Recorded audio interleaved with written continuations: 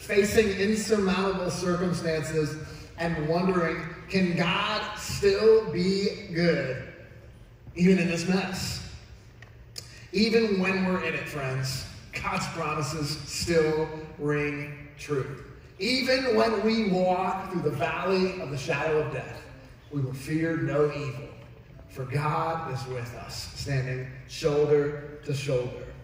Friends, take hope because Jesus, the overcomer, stands shoulder to shoulder with you and with me. In John 16, Jesus even shared these words. He said, In this world you may have trouble. He didn't actually say that. I, like, I wish Jesus said, in this world, you may have a little bit of trouble. There may be some bad things that happen to you, but Jesus didn't say that. What does Jesus say? Jesus says, in this world, you will have trouble. But he didn't put a period there. He put a comma instead, and he says, but take heart, for I've overcome the world. What that tells me and what that tells us, friends, is that no matter what we may walk through, when difficult circumstances will come our way, when they do, we have one who stands shoulder to shoulder with us, and he is the overcomer. And when you have the overcomer, the one who conquered sin, death, and the grave, the one who overcomes all things, when he stands shoulder to shoulder with you, there is nothing too far or nothing impossible for our God. What makes Jesus an overcomer and what makes us an overcomer as a result as well is that when we live this life, if I were to sit down and we were to work through the room, and if I were to ask you, are you perfect? we would all respond pretty quickly, nah, I've made mistakes.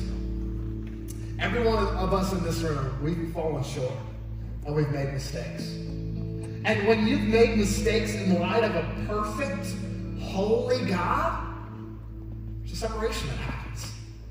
We can't be in perfection when we're in brokenness. So there's a gap that forms.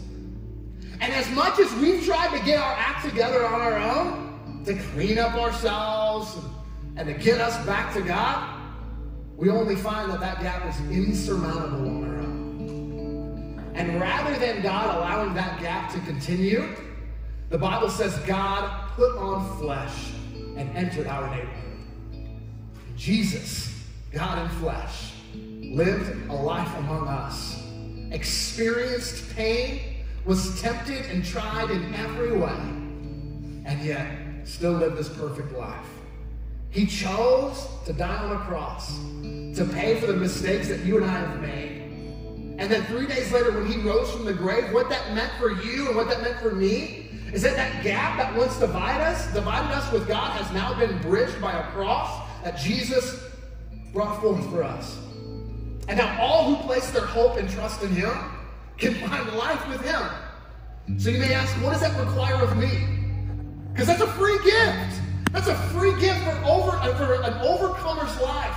Not only for in this life, but in the one to come. And that gift, what it requires of you and what it requires of me, it's faith. It's a simple yes. Jesus, I trust you, I'll follow after you. That gift is available for you and for me. Jesus invites us to stand shoulder to shoulder with him. Will you stand with him? Let's bow our heads and let's pray. Lord, we are so thankful for the hope that we have in you, for the gift of eternal life that we can find in you that in this life, when difficult circumstances happen to us, we know that your promise rings true, rings true that you will never leave us or forsake us. And even when we walk through broken places in the darkest valleys, you are still with us. So God, may that hope ignite us to stand shoulder to shoulder with others, to choose to advocate, advocate and champion for one another. And God, if there are people in this room that have not said yes to you, make today the day, Lord. We love you. In Jesus' name.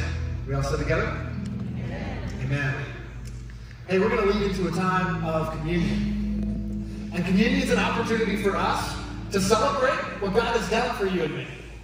And what's going to happen is we're going to give you a piece of bread and a little cup of juice. And that bread represents Jesus' body that was given for us, and that cup represents his blood that was shed for us. And you can eat those and drink that when you're ready. And when you do that, all we're doing is celebrating and saying thanks, Jesus, for what you've done. And we, we have the joy of doing that every Sunday, every time we gather here at Vibrant. And so I would invite you and love for you to participate with us. And so if you can be patient with me, okay? We've actually, uh, today we've got stations on the sides of the room, all right? You can see they're marked by white tablecloths.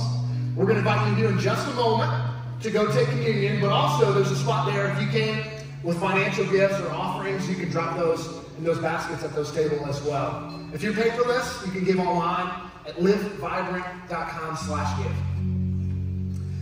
But in this moment, friends, it's an opportunity for us to say thank you, Jesus, for what you've done and for what you're doing in my life.